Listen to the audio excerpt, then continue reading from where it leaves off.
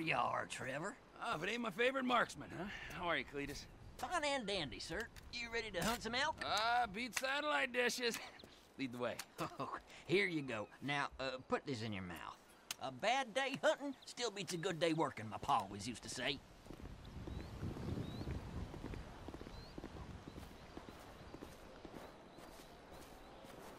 What is this thing in my mouth? And why do I have the feeling I'm not the first person to use it? I'll explain that in a while. Let's start with the basics for now.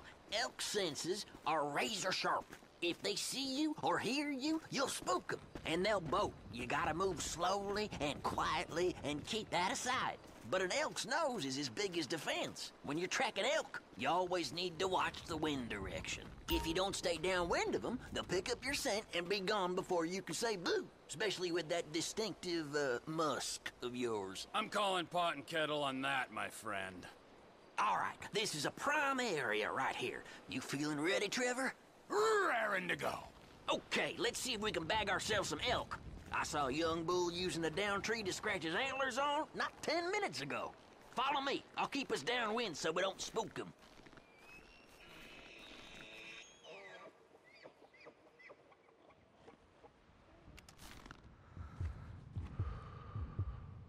On, put him down.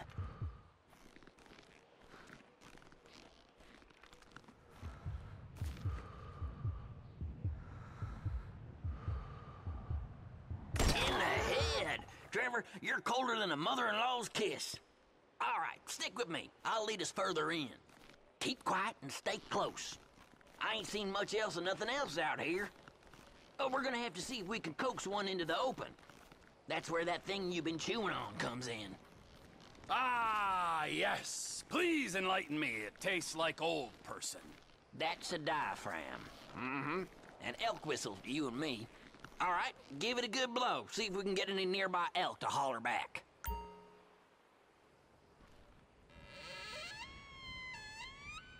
Sounds like someone strangling a clarinet player, and I talk from experience. Shh! Listen. Okay, you hear that? He's over there. You're downwind, so he's yours to lose, Trevor. Go get him.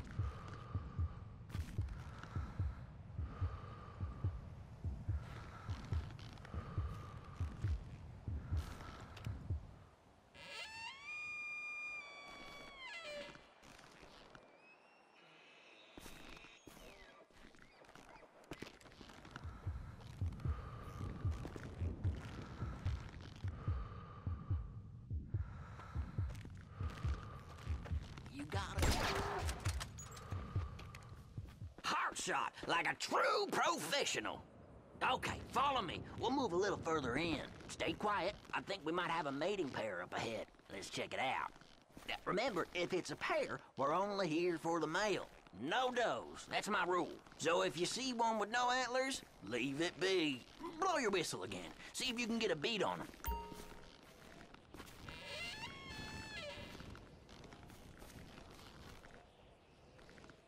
Okay, this is good. Same as before, nice and steady.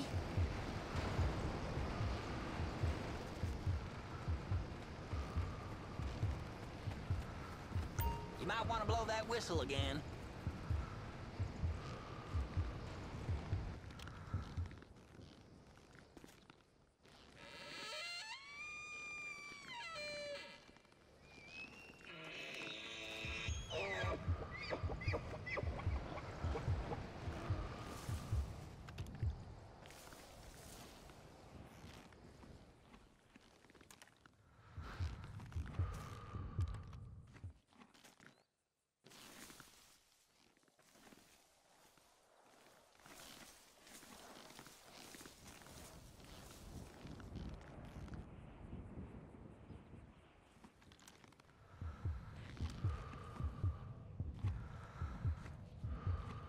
Now lay him in the shade.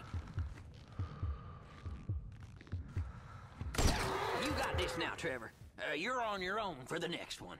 Tell you what, I got an idea how we can go in on this together. Text me pick your next kill, and we'll talk business.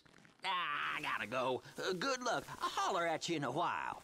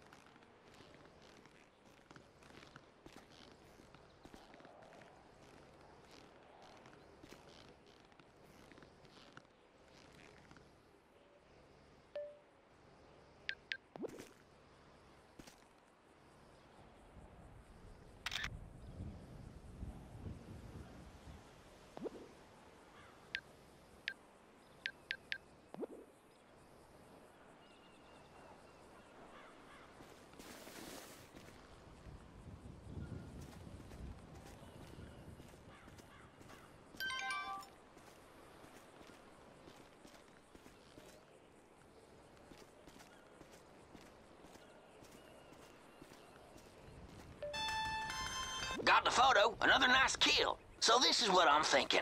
All this demand for wild raised meat with them city folks right now? If we divide and conquer, I reckon we could make ourselves a tidy little sideline. Text me a photo of your quarry. I'll let you know what it's worth, and come by to pick it up soon as I can. I like my meat with some age on it anyways. Uh, what do you say? Yeah, I say we'll see. I got a few other irons in the fire at the moment. All right, well, the offer's there, and you can keep that elk collar. Was my grandma's before she passed. Uh, be hearing from you.